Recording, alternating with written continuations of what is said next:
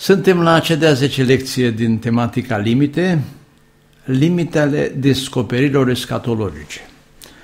Și drept binecuvântare pentru Domnul, citesc dintr-o carte total escatologică, Apocalipsa, capitolul 1, versetul 4.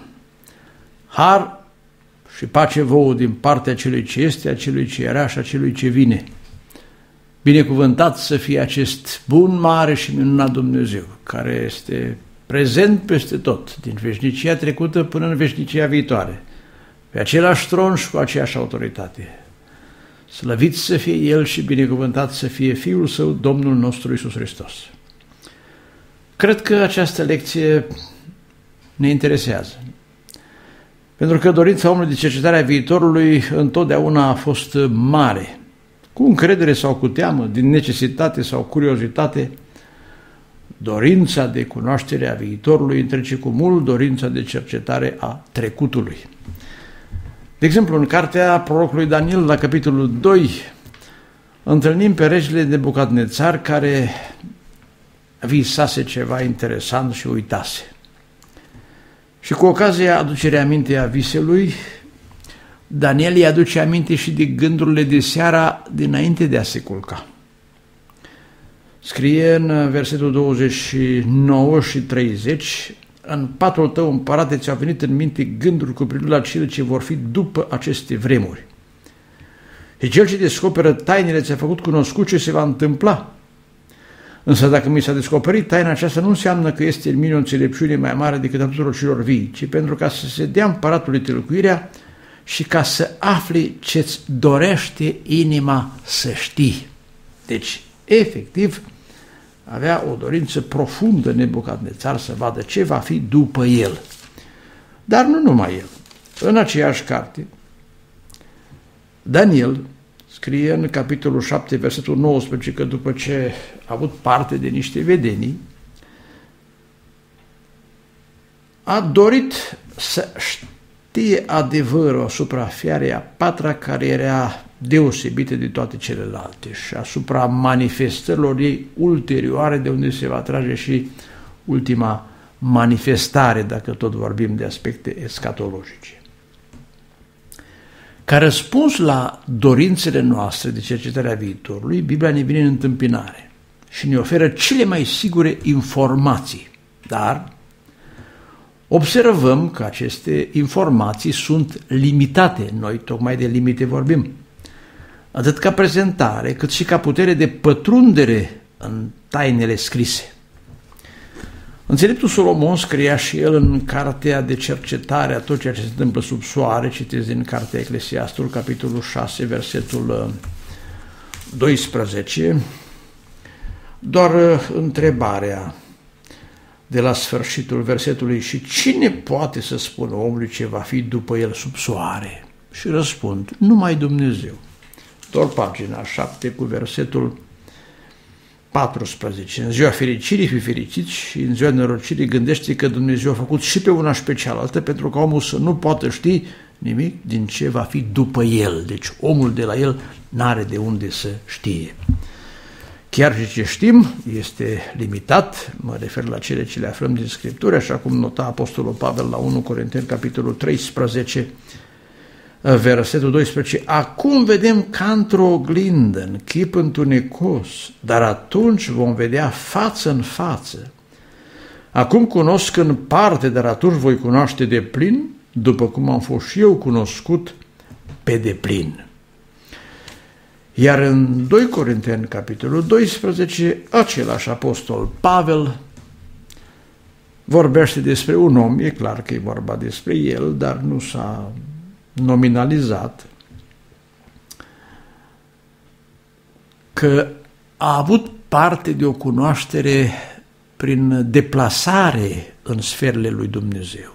Dar, ascultați, cunosc un om în Hristos care acum 14 ani a fost răpit până al treilea cer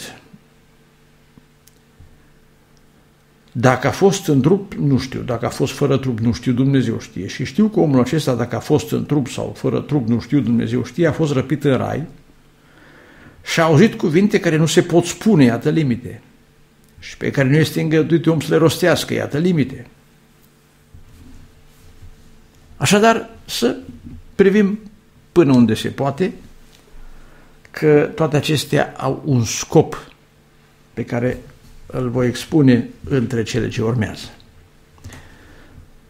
După aceste câteva cuvinte introductive, intrăm în capitolul 1, explicații, și va fi un capitol 2, aplicații. Explicațiile le-am împărțit în două, explicații generale și explicații specifice. Explicații generale. Prin Biblie, Dumnezeu, Dumnezeu cel adevărat, Iahve, al evreilor, se prezintă ca stăpân absolut care face totul după planul pe care l-a alcătuise în sine însuși. Am citat din Efeseni 1 cu 9 parte din verset. Dar în detalii citesc din cartea Apocalipsa, uh, Isaia, capitolul 45, apoi mergem și la Apocalipsa, să observăm cum Dumnezeu uh, pretinde cu toată autoritatea că face tot ce vrea. Isaia 45 de la versetul 6. Ca să se știe de dreptul soarelui până la apusul soarelui. Că afară de mine nu este Dumnezeu, eu sunt Domnul și nu este altul. Versetul 11. Așa vorbește Domnul Sfântul Israel, făcătorul tău. Vrea cineva să mă întrebe asupra viitorului? Să-mi poruncească pentru copiii mei și pentru lucrarea mâinilor mele? Cine ar putea să pretindă așa ceva? Roman, capitolul 8, versetul 28. Surprindem doar o idee notată de Apostolul Pavel referitor la evrei, căci Domnul va împărni pe deplin și repede pe pământ cuvântul lui. Îmi place expresia aceasta, de fapt e o dublă expresie. Va împlini pe deplin, are toată autoritatea și repede, nu poate fi ci împiedicat în cursul evenimentelor. Și drept dovadă că nu poate fi împiedicat și rămâne stăpân absolut, citesc și din Apocalipsa, capitolul 17, versetul 17, unde este scris despre punctul terminus, cel în care demonii și oamenii se vor alia la cote maxime să-i se împotrivească. Dar și atunci nu vor face decât să îi se supună lui Dumnezeu, în sensul de a-i permite să-și dovedească pe deplin autoritatea, lucrările, dreptatea și așa mai departe. Apocalipsa 17 cu 17. Căci Dumnezeu le-a pus în inimă să-i aducă la îndeplinire planul Lui, să se învoiască pe deplin și să dea fiare stăpânirea lor împărătească, până se vor îndeplini cuvintele lui Dumnezeu. Slăvit să-i fie numele. A doua idee. Profețiile biblice începând cu cele ale Vechiului Testament și în mod special cele rostite de Domnul în Evanghelie și în Apocalipsa, care este o adresă a Domnului către Ioan, avem singurele descoperiri escatologice sigure. Alte cărți profetice, de la cartea lui Enoch în diferitele ei variante, la ultimele date apărute pe internet, poate încă netipărite. Toate acestea nu pot fi certificate ca adevăr absolut. Nu pot fi puse alături de paginile Scripturii. În profetul Isaia, în capitolul 41, începând cu versetul 20, este scris ca să vadă cu toții și să știe și să priceapă și să înțeleagă că mâna Domnului a făcut aceste lucruri și Sfântul lui Israel le-a zidit. Apărați-vă pricina, zice Domnul. Arătați-vă dovezile cele mai tari, zice împăratul lui Iacov. Să le arate și să ne spună ce are să se întâmple, care sunt procile pe care le-ați făcut vreodată. Spuneți ca să luăm seama la ele, să le vedem împlinirea sau vestiți în viitorul Spuneți ce se va întâmpla mai târziu ca să știm că sunteți Dumnezei. Faceți măcar ceva bun sau rău ca să vedem și să primim cu toți. Iată că nu sunteți nimic și lucrarea voastră este nimic. O scârbă este cine va alege pe voi, era o referire la idoli. Doar ce în pagina 44 cu 7 și 8 vorbim despre profețiile biblice, singurele adevărate în materie scatologică, Cine a făcut prorocii ca mine să spună să-mi dovedească? De când am făcut pe oameni vremurile străvechi să vestească viitorul și ce se întâmple? Nu vă teme și nu tremurați, căci eu nu ți-am vestit și nu ți-am spus eu de mult lucrul acesta. Voi îmi sunteți martori, este oare un alt Dumnezeu afară de mine? Nu este altă stâncă? Nu cunosc alta. În cartea profetului Daniel, fără să intru în prea multe detalii aici, capitolul 7 sunt prezentate fiarele pe rând până la ultimul corn ce va ieși din ultima fiară. În cartea Apocalipsa, în capitolul 1, versetul 1, este scris descoperirea lui Iisus Hristos pe care a dat-o Dumnezeu ca să arate robilor să lucrurile care au să se întâmple în curând și le-a făcut-o cunoscut, trimițând prin îngerul său la robul său Ioan. Și în versetul 19 este scris despre lucrurile care sunt și care au să fie după ele. Că toate acestea pot fi culese, dacă vrem ceva cert, numai din Scripturi. O a treia notiță aici. Biblia prezintă sfârșitul acestui viac și intrarea în viacul viitor, notind câteva evenimente concrete care se vor derula într-un cadru tainic. Astfel avem ca evenimente speciale revenirea Domnului, învirea morților, judecata lui Dumnezeu, răsplătirile eterne și instaurarea împărăției sale. Acestea sunt evenimente sigure, clare, definite. Dar uh, contextul aparițiilor, amănuntele derulărilor, nu sunt precizate cu desăvârșire. Avem limite. De exemplu, în cartea prorocului Daniel, în capitolul 7, scrie în versetele 17 și 18, aceste patru fiare mari sunt patru împărați care se vor ridica pe pământ. Dar Sfinții Celui Preanal vor primi împărăția și vor stăpâni împărăția în veci, din veșnicie în veșnicie. Iată, foarte sintetic.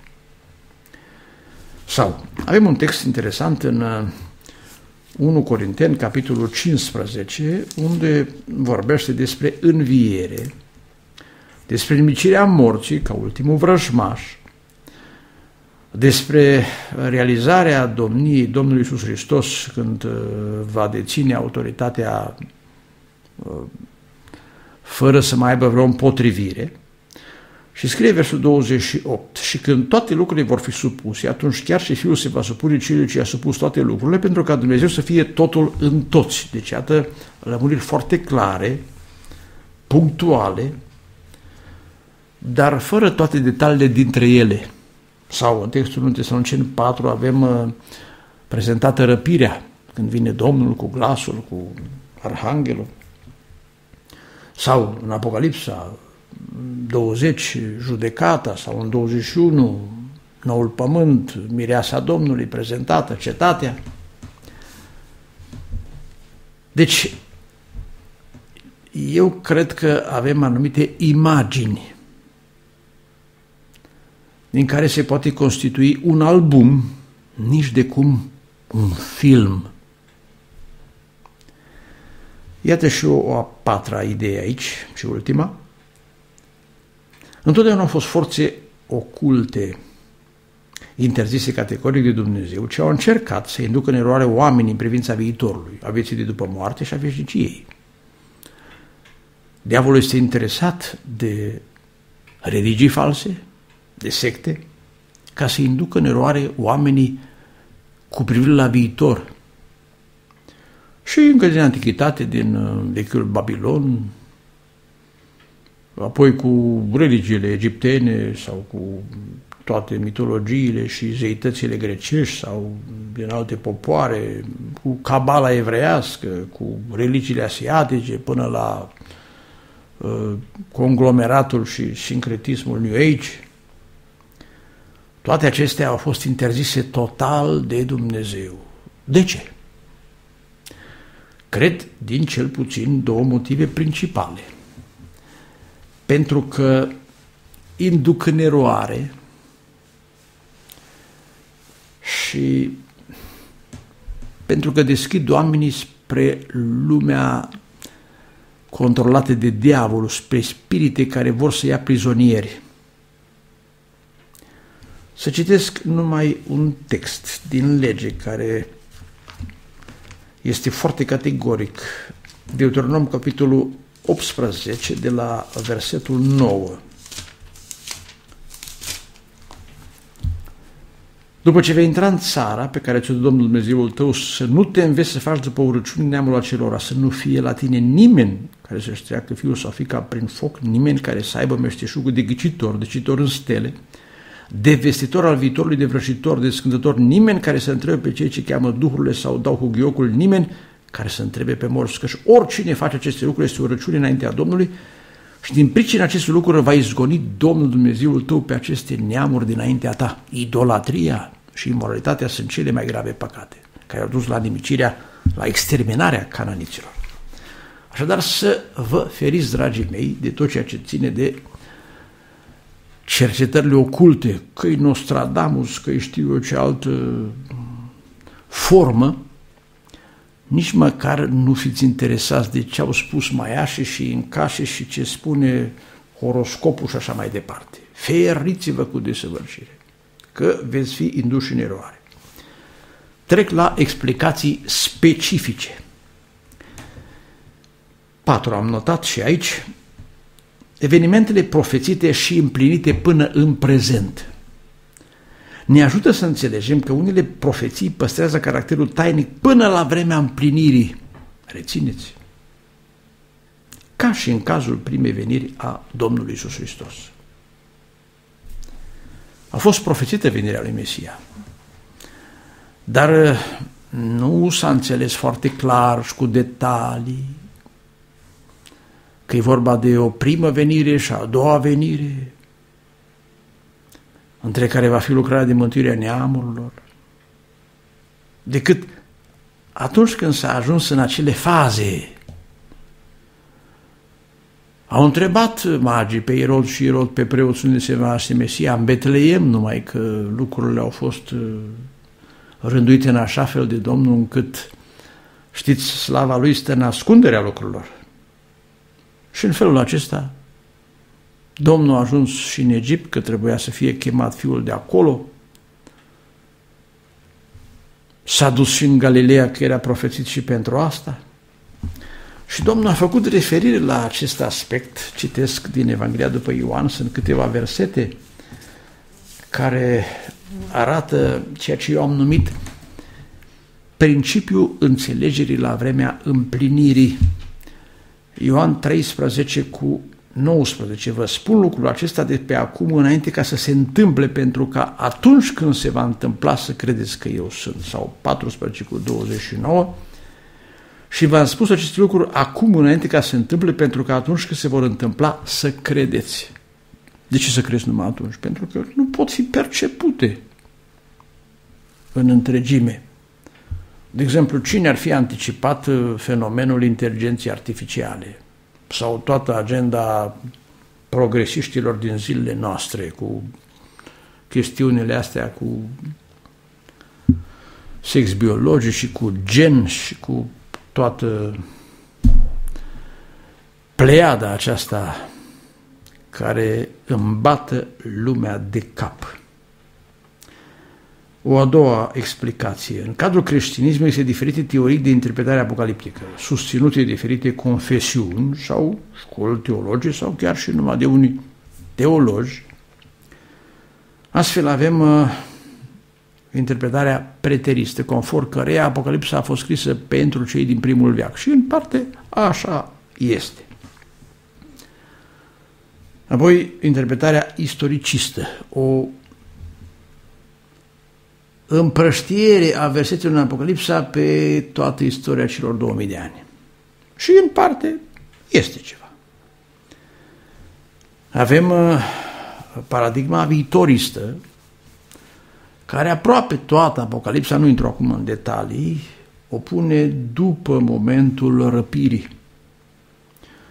Sau varianta idealistă, care evită o interpretare matematică, literală, aproape în întregime, văzând tot ceea ce este prezentat aici ca o luptă în care, până la urmă, binele învinge răul. Există și alte combinații, cum ar fi uh, teoria paralelismului progresiv, care culege din uh, variantele expuse uh, anumite date. De altfel, cred că este mai bogată decât celelalte teorii, dar nu vreau să clădesc ceva pe vreuna dintre ele acum, pentru că nu acesta e subiectul nostru, noi vorbim doar de limite. Aici vreau să scot în evidență că și contrastele acestor teorii arată că profețiile biblice nu oferă un cadru cronologic și ușor de descifrat al sfârșitului viacului. Adică, de ce unii punctează, cred ei foarte clar, o variantă și alții alta? Tocmai asta scoate în evidență faptul că există pauze, există lipsuri în această scriere, ceea ce permite să se pună o anumită interpretare sau alta acolo unde este, să spunem, pauză, unde sunt puncte, puncte. Apostolul Pavel scria la Tesaloniceni cu care a dezvoltat subiectul revenirii Domnului, după cum știm și din alte capitole, dar acum citesc numai din capitolul 5, întâia epistolă, de la versetul 1, cât despre vrem și soroace, n-aveți trebuit să vi se scrie fraților, pentru că voi știți foarte bine că ziua Domnului va veni ca un host noaptea. Când vor zice pace și nici atunci o propădenie așteptată va veni peste ei ca de naștere peste femeia însărcinată și nu va fi chip de scăpare. Dar voi, frați, nu sunteți în întuneric pentru ca ziua aceea să vă prindă ca un hoț. Voi toți sunteți fii ai luminii și fii ai zilei. Noi nu suntem mai nopții, nici ai întuneric de aceea să nu dormim ca ceilalți, ci să veghem și să fim tregi. Pentru că nu știm toate, nu ne rămâne decât să veghem tot timpul că nu putem pune ceasul la o anumită oră când să ne trezim numai atunci. A doua Petru, capitolul 3, de asemenea scoate în evidență că datorită prelungirii timpului și întârzierii, să spunem așa, venirii Domnului, oamenii vor spune, a, ah, toate rămân așa. Și acolo spune, pentru Domnul o zi, o mie de ani, o mie de ani ca o zi, nu întârzie, dar are de lucru până atunci și așteaptă ca să ne mântuim. Și de asemenea nota Apostolul Petru acolo, făcând referire la unele dintre scrierile Apostolului Pavel, că sunt lucruri grele de înțeles. De ce sunt grele? Pentru că nu sunt date toate detaliile, între altele. Pentru că sunt unele referiri tainice și nu pot fi descifrate, unele chiar numai la vremea lor. Și oamenii se grăbesc și le răstălmăcesc, dar tragedia îi scrie aici că o fac spre pierzarea lor, să ne ferească Domnul. O a treia notiță aici, profețiile biblice fac referire la ce se va întâmpla în plan spiritual, dar și în plan fizic, prin semne și unele date dispersate, ce au scopul vestirii planului Dumnezeu și lucrării de mântuire a oamenilor. Adică, aceste date apocaliptice ne sunt date, cum spuneam, nu să știm noi toate amănuntele și să urmărim uh, la monitor orarul, nu. Sunt împliniri în diverse domenii ale vieții, ale Universului, ca noi să înțelegem ce vreme trăim și să ne facem lucrarea, exact cum au întrebat ucenicii, Doamne, acum ai de când să așezi împărăția? Zici, da, acum doar cu voi ar spune, duceți-vă și adunați oameni pentru împărăție.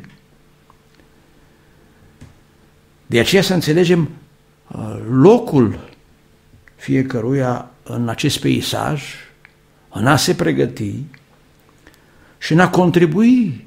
Dacă tot am citat din 2 Petru 3, scrie acolo că noi putem să așteptăm și chiar să grăbim venirea zilei Domnului. În plan uman ne desfășurăm activitatea în cursul normal al vieții. Dar în plan spiritual să fim în dorința așteptării Domnului.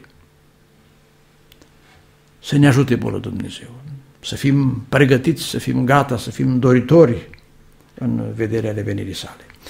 Și o a patra notiță mai scurtă, dar demnă de luat în considerare, sistemul legii, cu jerfe și sărbători a fost o reflectare a viitorului, ordinea sărbătorilor, subiectul fiecarei sărbători. A fost o prefigurare a planului mântuirii. Legea cu tot ce cuprindea ea avea în primul rând un uh, scop uh, prefigurator soteriologic, dar avea și un caracter uh, escatologic. Spune Scriptura în Evrei, în capitolul 9 și în capitolul 10, citesc din nou versetul 11, unde este scris despre Domnul Isus Hristos,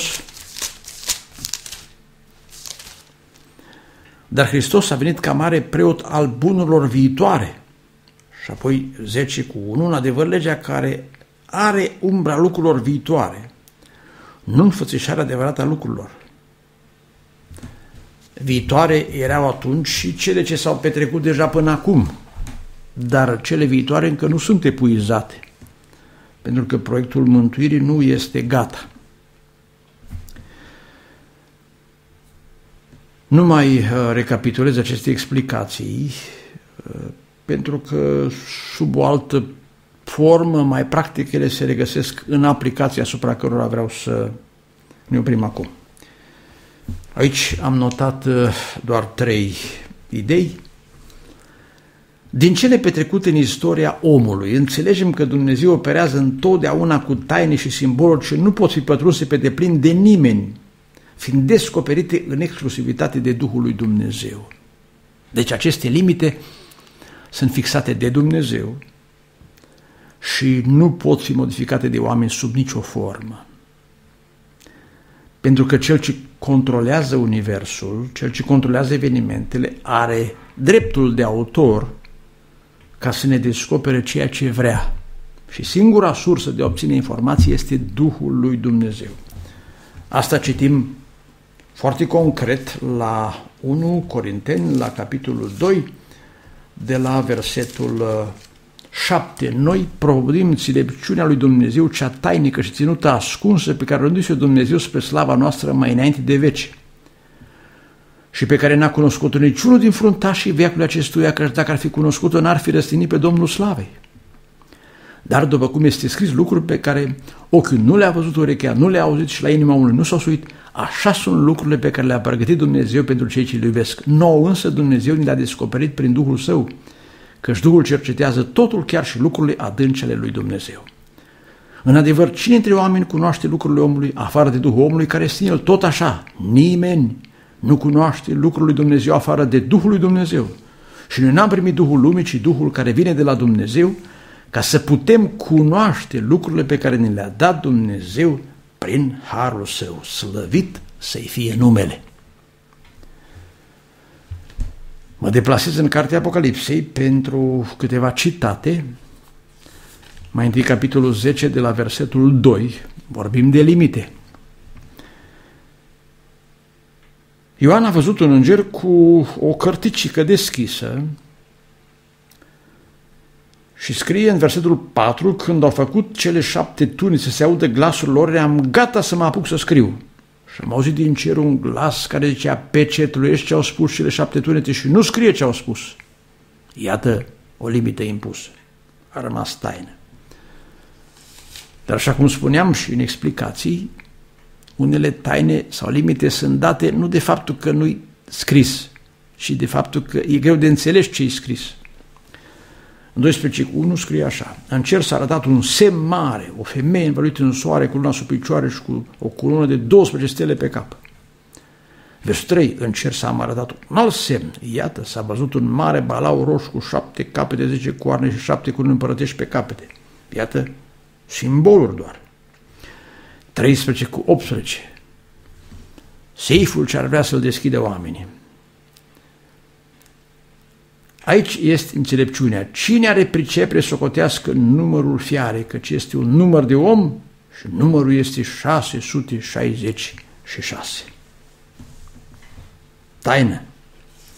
Capitolul 17 prezintă o altă femeie decât cea din Apocalipsa 12, de la versetul 3 și m-a dus în Duhul într-o pustie și am văzut o femeie șezând pe o fiară de culoare stacojie, plină cu nume de hulă și avea șapte capete și zece coarne. Femeia aceasta era îmbrăcată cu purpuriu, purpură și stacojiu, era împodobită cu aur, cu pietre scumpe și cu mărgăritare. Ținea în mână un potir de aur plin de spurcăciu și de necurățire curviei.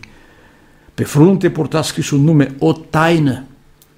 Babilonul cel mare, mama curvilor și spurcăciunilor pământului. Și am văzut pe femeia aceasta îmbătată de sângele sfinților și de sângele mucinicilor lui Iisus. Când am văzut-o, m-am mirat minune mare. Da, dragii mei, iată că Dumnezeu vorbește în așa fel ca să priceapă oamenii că Duhul a descoperit și ceva foarte important, că Duhul descoperă omului și dacă nu-i Duhul lui Dumnezeu, și cine citește nu înțelege, cum scrie în Isaia, orică n-are carte, orică e cartea pecetluită. O a doua idee în aplicație.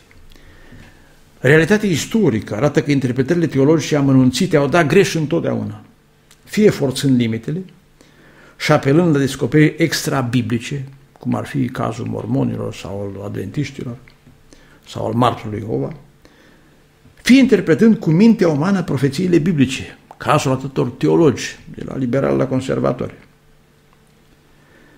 De rezultat, oamenii s-au bazat pe practici religioase eronate și aplicații periculoase, ceea ce i-a condus pe mulți la o mântuire ieftină sau tardivă. Ieftină în sensul că se crede deja în împărăție, dar încă nu s-a deschis poarta cea mare, că trebuie să intrăm deodată cu cei morți. Și tardivă mă refer la situația în care unii vor rămâne de răpire potrivit unor păreri scatologice că ar putea să fie mântuiți și după aceea. N-am dat nădejde aceasta nimănui. Să nu fim ca fariseii care au mers la Ioan crezând că scapă de mânia viitoare, că știau ei că vine ceva prăpăd în viitor dar interpretarea lor nu i-a ajutat să se pocăiască. Spunea Domnul, citesc din Matei 24 cu 23 și 24, că atunci noi putem spune, acum îndată, dacă se va zice, iată Hristosul ei sau acolo, să nu-i credeți. Asta înseamnă, ce înseamnă Hristosul? O anume doctrină, ba chiar o anume persoană. Că se vor scula Hristos mincinoși, proști mincinoși care vor face semne mari și minuni până acolo încât să înșele. Deci asta e problema interpretării greșite, înșelarea. Citim uh, tot uh, aici, asta este un text care pentru mine elucidează și pentru orice om sincer aproape totul. 2 Tesaloniceni 2. Ascultați-mă bine aici lăsați multă vreme, sau de mai multe ori, Biblia deschisă aici. Scrie de la versetul 1 de venirea Domnului, că nu va fi înainte de a se descoperi omul fără de legii, fiul pierzării și de a se consuma fenomenul lepădării de credință. Dar arătarea lui scrie de la versetul 8 uh, că Domnul va surprinde pe tron și cum scrie în uh, Apocalipsa 19, vor fi expediați uh, direct în uh, iazul de foc. Nici pe la Apocalipsa 20, pe la judecată nu mai trebuie să treacă. Pe la înviere, că pleacă direct de vii în o sândă. După cum și unii sfinți pleacă direct de vii în împărăție, mă refer la ultima generație. Dar scrie începând cu versetul 9 că arătarea lui se va face prin puterea satanei cu tot felul de minuni, de semne și de puteri mincinoase și cu toate amăgirile nelejuirii.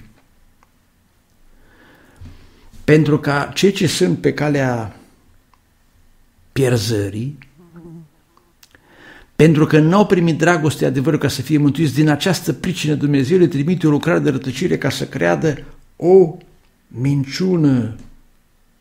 Ați reținut? Mare atenție. Interpretările scatologice ca și falsificarea Evangheliei sub alte aspecte duce la pierzare. Dar, făcând uh, legătura cu primul aspect notat în aplicații, numai Duhul lui Dumnezeu ne poate lumina. Vă rog să rețineți ce scrie aici, de la versetul 12. Toți cei ce n-au crezut adevărul. De ce? Nu i-a dus mintea? De aceea zice Domnul către Petru că nu mintea te duce, Duhul te duce. De ce n-au crezut adevărul? Au găsit plăcere în nelejuire. Păcatul te ține la întuneric. Noi însă, frați spre Domnul, trebuie să mulțumim întotdeauna lui Dumnezeu pentru că voi de la început ați fost aleși pentru mântuire în sfințirea Duhului și credința adevărului. Deci iată corelarea. Că e suficient să pricepem până la limita ce ne este dată, dar să ajungem la limita înțelegerii, la ceea ce numește Scriptura de plina cunoștința adevărului, chiar și în privința asta, cât ne este necesar și suficient în uh, plan escatologic, ne este dat de Duhul Sfânt atunci când rămânem la ce scris cu întreaga noastră ființă.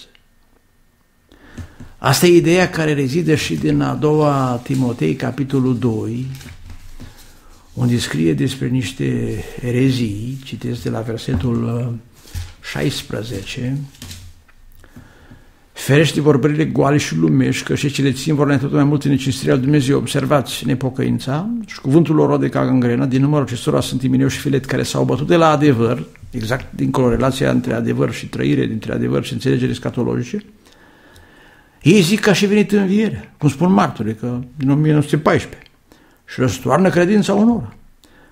Totuși temelia tare Dumnezeu să ne zguite având pe cetea aceasta. Iată ce ștampilează Dumnezeu, ce avizează ce recunoaște. Domnul cunoaște pe cetea lui și oricine rostește numele Domnului se depărteze de fără de lege. ca o monedă cu o față și cu cealaltă. Dacă trăirea corespunde, lumina e clară. Când trăirea intră în beznă, înțelegerea dispare. Și o a treia și ultima aplicație – Istoria biblică și cea a bisericii dovedesc faptul că cei credincioși, celor cunoscute, atenție, au fost favorizați în înțelegerea celor necunoscute, dar numai la vremea potrivită. Deuteronom 29 cu 29. Lucrurile ascunse sunt ale Domnului. Dar ce spune versetul mai departe? Dar, pentru că asta uneori se pierde din vedere și ciuntit versetul și ca atare ai pierdut adevărul. Lucrurile descoperite, adică ceea ce știm, sunt ale noastre, nu doar ca să ne îmbogățim cunoștințele, ca să împlinim toate cuvintele legii acesteia. Repet, cei credincioși în cele cunoscute sunt favorizați în înțelegerea celor necunoscute, dar numai la vremea potrivită. Asta spunea domnul prin Ieremia 30 cu 25. Veți înțelege lucrul acesta în cursul vremurilor. Daniel a fost om credincios și lui a fost descoperit adevărul. I s-a citat din cartea adevărului, acea carte care uh, conține tot ceea ce are Dumnezeu în planul său, dar noi nu avem numai ceva extrase din această carte, nu avem în întregime, nu Biblia este această carte, Chiar dacă Biblia este cartea adevărului, dar acolo este vorba despre uh, date uh, din proiectul lui Dumnezeu până la sfârșit, până la intrarea în Împărăției lui Dumnezeu. Și după toate aceste descoperiri, scrie în Daniel la capitolul 12, citesc de la versetul 4, tu însă, Daniele, ține ascunse aceste lucruri și pecetuiește cartea până la vremea sfârșitului. Atunci mulți o vor citi și cunoștința va crește va crește nu doar cunoștința, ci cunoștința înțelegerii. Pentru că, așa cum spuneam adineaori de inteligența artificială sau de alte filozofii și practici ale vremii noastre, până n-au apărut, nu se putea cunoaște în detalii. Aici au fost date câteva date cu trei vremi și jumătate, cu o mie 290 de zile cu 1335 de zile și rețineți, zice în versetul 8, uh, eu am auzit, dar n-am înțeles. Și am zis, Domnul meu, care va fi sfârșitul acestor lucruri? El mi-a răspuns, du-te, Daniele, căci cuvintele acestea vor fi ascunse și pecetluite până la vremea sfârșitului. Da. Deci, lucrurile sunt descoperite la vreme, Dumnezeu nu satisface curiozități, nu informează corect decât pe sfinți, doar ei vor avea parte de înțelegere corectă și în privința asta să ne ajute Bunul Dumnezeu. De aceea citește din Luca 21, unde spunea Domnul verset 34, luați seama să nu vă prindă ziua aceea frământați, îngrijorați, înavuțiți, și versetul 36, veghează în tot timpul și rugați-vă. Să ne ajute Domnul. Și cum spune și Pavel în Filipeni 3, nu mai intru în detalii, unde își exprimă dorința de a cunoaște pe Domnul puterea învierii Lui și dacă sunt deosebiri, că încă înțelegem în parte, posibilitatea iluminării în continuare e dată de trăirea celor cunoscute, consemn fără de care parcursul nostru intră în besnă. Închei. Spunând că nimeni nu poate forța mâna lui Dumnezeu să discuie ceea ce păstrează El în secret. El a dat visul lui Nebucadnețar și el l-a luat înapoi. Mai apoi, dacă a fost nevoie, a luat și mintea. Și tot el i-a dat-o înapoi. Așa că trebuie să spunem și noi, ca Daniel și ceilalți, cărului s-au descoperit și visul și tâlcuirea, citiți Daniel 2 de la versetul 20. Binecuvântat să fie numele Dumnezeu din veșnicie în veșnicia Lui este înțelepciunea și puterea. El schimbă vremurile și împrejurările, răstoarne și pune pe împărați. El dă înțelepciune înțelepților și pricepere celor pricepuți. El descoperă ce este adânc și ascuns. El știe ce este în întuneric și la el locuiește lumina. Pe tine, Dumnezeu părinților mei, te slăvește laud când mi-ai dat înțelepciune și putere și mi-ai făcut cunoscut ce am cerut noi, că și ne-a descoperit taina împăratului. Era nevoie să le-o descoperă. Așa ne va descoperi și nouă Domnul la nevoie, la timpul potrivit. Și tot aici în versul 27, Daniel răspuns înaintea împăratului și a zis ce cere împăratul este o taină pe care înțelepții citorii în stele, vrăjitorii, ghicitorii, nu sunt tare să o descoperă împăratul și adaug eu nici teologii vreme noastre. Numai în condiția pe care o spun îndată. Dar este în cerul un Dumnezeu care descoperă tainele și care face cunoscut împăratul Nebucar ce se va întâmpla în vremurile de pe urmă. Da. Nu degeaba spunea Domnul, cât despre ziua aceea, nu știe nimeni. Nu numai datarea nu știe. Nu știm nici alte amănunte, să ne fie clar asta. Și ultima idee cu care trebuie să rămânem, alături de celelalte. Singura posibilitate de a fi în siguranță în fața unui viitor necunoscut pe deplin, nu sunt speculațiile scatologice, ci numai o bună relație cu Dumnezeu prin călăuzirea Duhului Sfânt.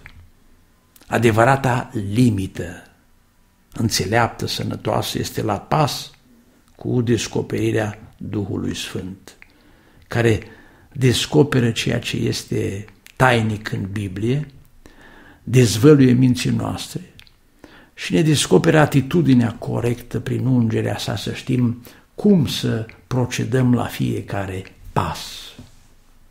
Evlavia este folositoare în orice privință. Are făgăduința vieții de acum și a cele viitoare, dar și făgăduința transferului din viacul acesta în viacul viitor. De asemenea, scrie în cartea Apocalipsei, în capitolul 14, printre taine, spune ceva pe înțeles. Citeți versetul 12. Aici este răbdarea Sfinților, care păzesc poruncile lui Dumnezeu și credința lui Isus. Și am auzit un glas din cer care cea scrie ferice acum încolo de morții care mor în Domnul da, zice Duhul, iată relația strânsă cu Domnul prin Duhul. Ei se vor odihni de ostenele lor, că și faptele lor îi urmează. Unii au plecat la Domnul, așa ca scumpa mea, fără să afle mai multe, dar e suficient că au dormit în Domnul. Se vor trezi la învierea fericită. Scrie tot aici, în Apocalipsa, în capitolul 19, despre minunata zi a întâlnirii, a părtășii, debutul fericirii eterne, versetul 7, să ne bucurăm, să ne veselim, să-i dăm slavă. De ce? Am știut toate datele dinainte și acum vedem că interpretarea noastră a fost corectă. De asta va fi bucuria nouă. Ci să ne veselim, să ne bucurăm, să de slavă că ce a venit în mielui soția lui s-a pregătit și s-a dat nu să știe tot, ci să se îmbrace cu insubțire, slujitor și curat. Apoi mi-a zis, scrie ferice de cei chemați la ospățul înălțimea lui. Apoi mi-a zis, acestea sunt adevăratele cuvinte ale lui Dumnezeu. Să mergem așadar, după cum ne conduce lumina sfântă, sub călăuzirea Sfântului Duh, să fim mulțumiți cu limitele oferite, că aceste limite vor deschide uși la momentul potrivit, uși de înțelegere și uși de intrare în Împărăția Sfântă pe care Domnul ne-a pregătit-o, slavă Lui. Amin.